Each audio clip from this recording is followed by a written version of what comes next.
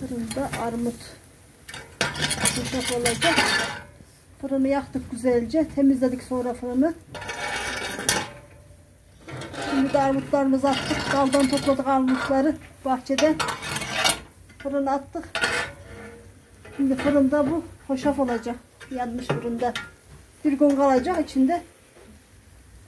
Komposta yapıp içeceğiz kışın.